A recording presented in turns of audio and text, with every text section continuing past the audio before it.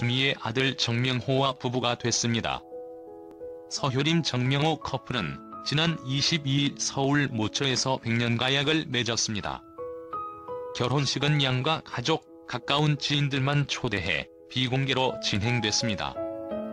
사회는 한석준 아나운서가 주례는 소설가 겸 전 국회의원 김홍신이 맡았습니다. 정세균 국회의원과 그룹 레인보우 출신 고우리가 축사를 했어요. 축가는 가수 아이비, 재즈 가수 윤희정과 그의 딸이 같이 부른 것으로 알려졌습니다. 부케는 이도희와 연애 중인 레인보우 출신 지숙이 받았습니다. 결혼식에는 김용건 등 전원 일기 출연진과 김한길 전 국회의원, 가수 전인권, 배우 임현식, 오현경 오윤아 김영옥 황신혜 이숙 홍석 전 이유리, 개그맨 장동민, 셰프 최현석 등이 참석한 걸로 알려졌습니다. 이유리는 23일 SNS에 김수미 선생님 서효림 정명호 사랑스러운 신랑 신부님이라는 글과 같이 김수미와 찍은 사진을 올리기도 했어요. 한복을 곱게 입은 김수미의 모습이 눈길을 끌었습니다. 지난 10월 말년의 사실을 인정한 서효림 정명호 커플은 지난달 19일 결혼 소식과 같이 임신 소식을 전해 네티즌들의 따뜻한 축하를 받았습니다. 그때 당시 서효림 소속사 마지크 엔터테인먼트 측은 변함없는 신뢰와 존중을 바탕으로 부부의 연을 맺게 되었다면서 서로 평생의 동반자가 되기를 약속하고 양가 부모와 결혼에 대하여 상의하는 과정 가운데 새 생명이 찾아왔다고 말했어요. 두 사람의 인연은 서효림이 예비 시어머니 김수미와 같이 출연한 SBS 플러스 예능 프로그램 김수미의 밥은 먹고 다니냐? 에서 시작된 것으로 알려졌습니다. 서효림은 해당 프로그램을 통해 서로 눈길이 생긴 건 밥은 먹고 다니냐? 첫 회식 날이라고 밝혔습니다. 이어 새벽 1시에 전화가 왔다면서 다른 남자 더 만나지 말고 나한테 와라라고 하더라고 말해 화제를 모았습니다. 서효림은 2007년 KBS 드라마 꽃피는 봄이 오면으로 데뷔했어요. 드라마 성균관 스캔들 여인의 향기 나도 꽃. 그 겨울 바람이 분다. 김비서가 왜 그럴까 비켜라. 운명아 등에 출연했네요.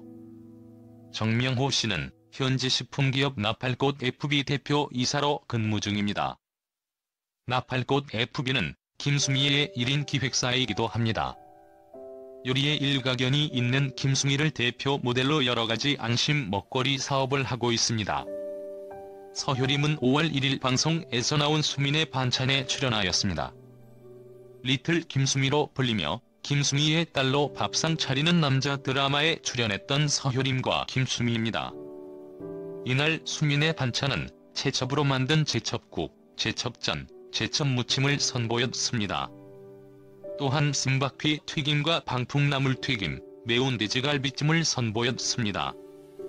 모녀 사이로 연기를 했던 김수미와 서효림은 외식하는 날 방송에 같이 출연하기도 했습니다.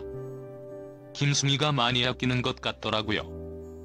박상민, 윤다훈, 탁재훈 등 김수미와 인연이 깊은 배우들이 수민의 반찬에 많이 출연하는 것 같습니다.